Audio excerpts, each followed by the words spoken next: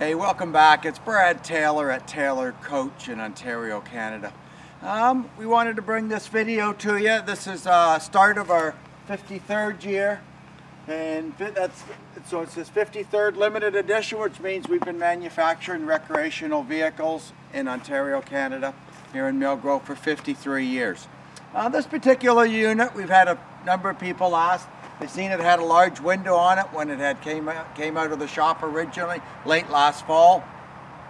Just didn't get a chance to shoot a video on it. We've been extremely busy.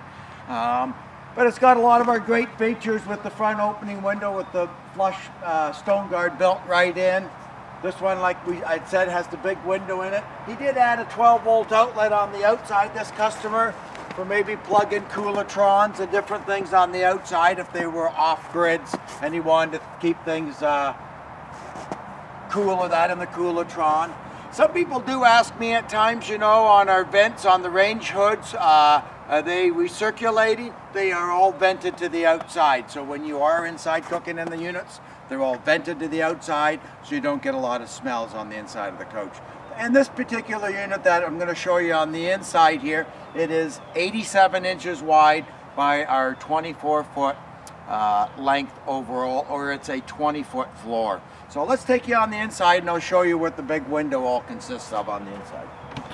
So on the inside of this particular unit, what this couple had decided to leave out is they didn't want the dinette or a couch or anything up here. They chose to put, they call them they supplied the chairs. We supplied the spot for the chairs to go. They're what they call a nursing chair.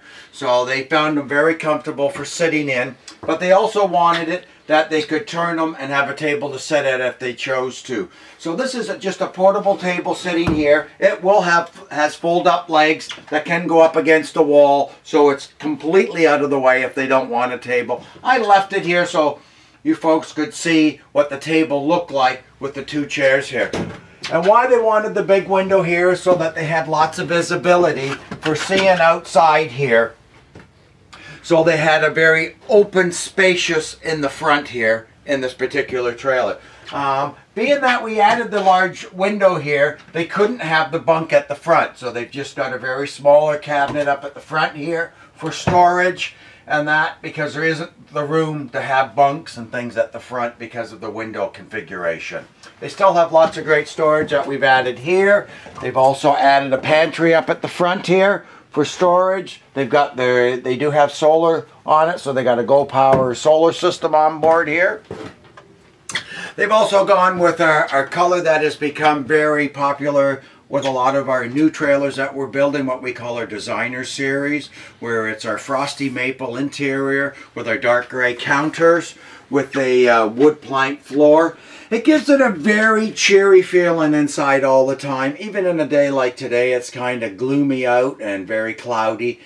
With just the lights on in the coach, it gives it a very cheery feeling inside versus a wood grain pattern inside. We still offer a wood grain pattern on all our counters. We're just giving customers a choice.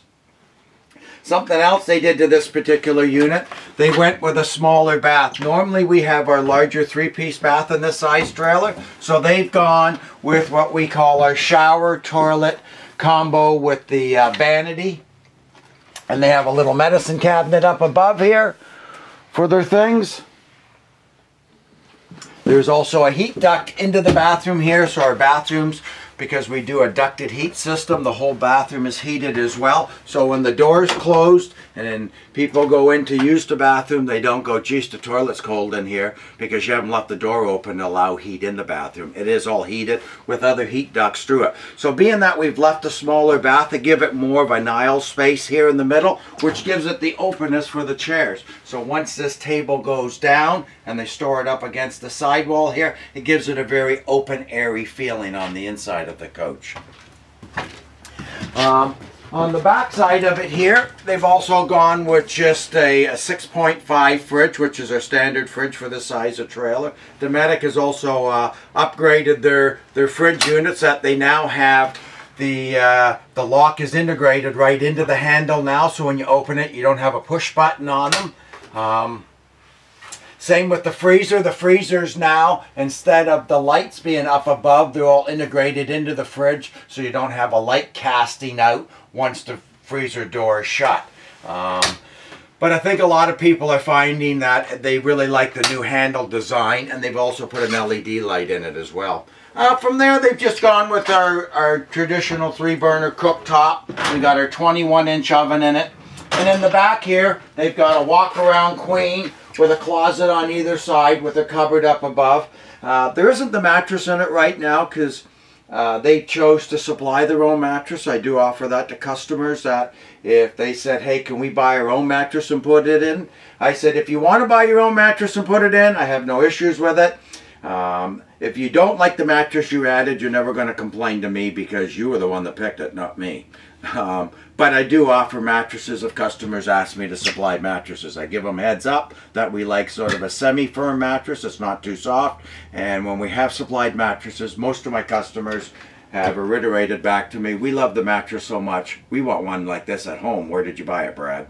So we do supply a great mattress in it. And I think that the thing that people really like as well, this is a regular 60 by 80 mattress. It's not a special mattress. It doesn't have any cut corners. It fits all regular sheets. And people really, really like it that it's just a regular mattress. It still has all the storage underneath here. And being that our freshwater tank is slung underneath the coach, it gives them a big open storage spot here, along with a storage spot out the back here.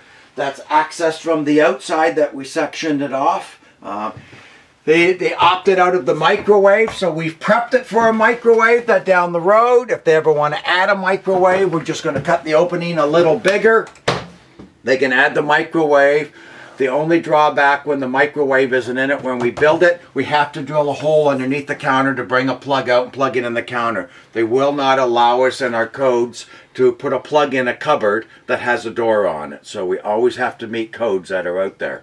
And Give me a heads up on a weight wise on this too. Like I mentioned before, it is a 24 foot overall coach. Um, this one we put it on the scales. It come in at about 29, 40, something like that, just off the top of my head uh, on a dry weight. So it's very towable by a lot of vehicles rated for 4,500 pounds and that. So it makes it a good fit for that, that range of a vehicle.